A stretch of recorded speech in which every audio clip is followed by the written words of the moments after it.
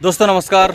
मैं अखिलेश गुरु एक बार फिर आपका स्वागत करता हूँ मानस प्रबोध आश्रम घोघरा से। घोघरा ना? हाँ मानस प्रबोध आश्रम घोघरा। घोघरा जो सौसर में जामसावरी के जो हनुमान जी हैं लेटे हुए हनुमान जी वहाँ से मुश्किल से दो किलोमीटर की दूरी पर एक बहुत सुंदर आश्रम है। यहाँ एक स्वामी जी निवास करते थे स्वामी जी का स्थान है। उन्होंने ही ये मंदिर बनाए हैं। मंदिर बनवाए हैं भक्तों के सहयोग से। और वे परिक्रमा किया करते थे माँ नर्मदा की। स्वयंभू शंकर जी का मंदिर है, अन्नपूर्णा देवी का मंदिर है और तुलसीदास जी का मंदिर भी यहाँ पे, यहाँ पर है। बहुत खूबसूरत जगह है, बहुत सुंदर जगह है और किनारे पर जाम नदी बह रही है। तो जाम नदी के किनारे मानस प्रबोध आश्रम बहुत सुंदर, बहुत खूबसूरत आश्रम है। जब भी आप जाम सांवली आएँ, एक बार इस आश्रम में ज़रूर आइए। और यहाँ कुछ समय बिताइए, आपके मन को बड़ी शांति मिलेगी, बहुत अच्छा लगेगा। आइए, अब हम चलते हैं आश्रम के अंदर और देखते हैं क्या क्या यहाँ चीज़ें हैं क्या क्या गतिविधियाँ चल रही हैं, कुछ निर्माण कार्य भी चल रहे हैं, वो सब हम चलकर देखते हैं।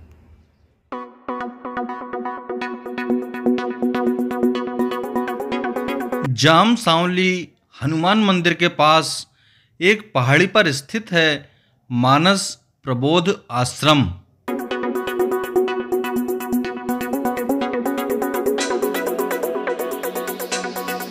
माँ नर्मदा के साधक तपस्वी संत नित्यानंद जी यहाँ निवास किया करते थे।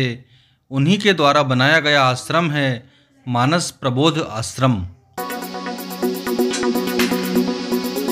यहाँ शिवरात्रि पर एक मेले का आयोजन किया जाता है। जय गुरुदेव। गुरुदेव के चरण विराजित हैं। वृक्ष के नीचे।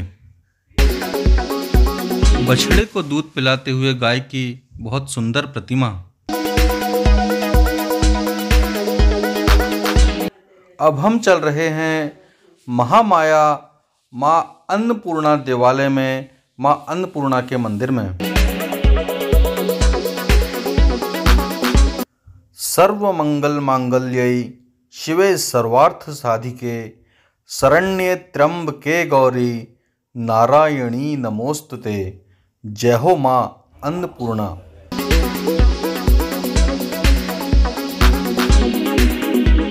माँ अन्नपूर्णा के दर्शन करने के बाद अब हम चलते हैं नर्मदेश्वर महादेव के दर्शन करने और ये शिवलिंग बरमान घाट से लाए गए हैं स्वामी नित्यानंद जी द्वारा।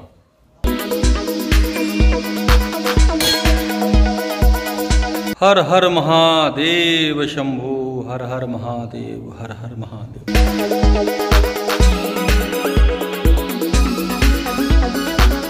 आइए अब हम संत श्री नित्यानंद जी के आसन कक्ष में प्रवेश करते हैं और दर्शन करेंगे नित्यानंद जी के। संत श्री नित्यानंद जी सरस्वती ने ही मानस प्रबोध आश्रम की स्थापना की। आपका समाधि स्थल गाडरबाड़ा के गाँव टिमरावन में नर्मदा तट पर है। यह स्वामी जी का रथ है और इसी रथ को लेकर साथ में स्वामी जी नर्मदा की परिक्रमा किया करते थे।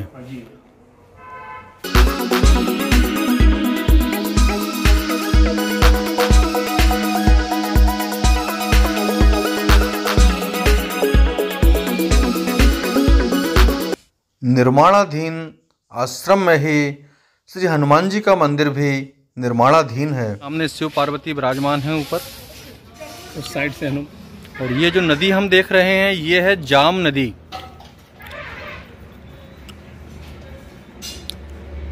जाम नदी के तट पर बसा हुआ ये बहुत ही खूबसूरत बहुत ही सुंदर मानस प्रबोध आश्रम है। सुमेरकूट घोगरा सुमेरकूट घूगरा बहुत स्वामी जी यहाँ आए पिपला में आए उनने रामायण की और हाँ। फिर उनको वो स्थान चाहिए था उस समय खंडर मतलब कुछ भी नहीं था कुछ भी नहीं था, हाँ। एक घास की झोपड़ी बना के वो रहे हुए। हाँ। उसके बाद उनको प्रेरणा मिली तो नर्मदे भगवान की नर्मदेश्वर भगवान की स्थापना करने के लिए उनने बरमान घाट से शिवलिंग लेकर आए। शिवलिंग लेके अच्छा। बुलाए और यहाँ स्थापना की। अच्छा। हाँ बहुत बढ़िया। और कब तक रहे स्वामी जी यहाँ कब से रहे? ये स्वामी जी 2004 यानी सन अठहत्तर से रहे।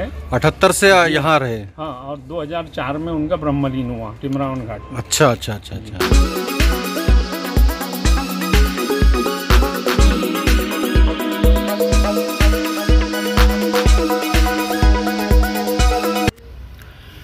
ये गोस्वामी तुलसीदास जी का मंदिर है। वाह बहुत खूबसूरत प्रतिमा। तुलसीदास जी की।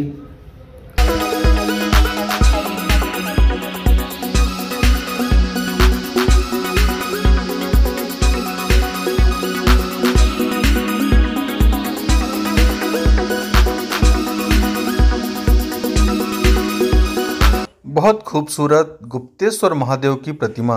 ये भोजनशाला है भोजन प्रसाद कर सक प्रसाद ग्रहण कर सकते हैं हम यहाँ बैठकर। प्याज कुछ नहीं चलता। जी। बहुत बढ़िया।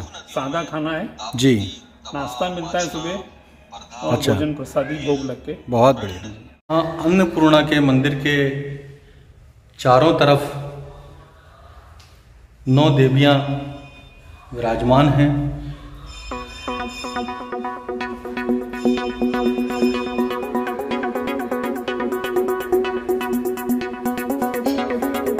जय हो माँ अन्नपूर्णा।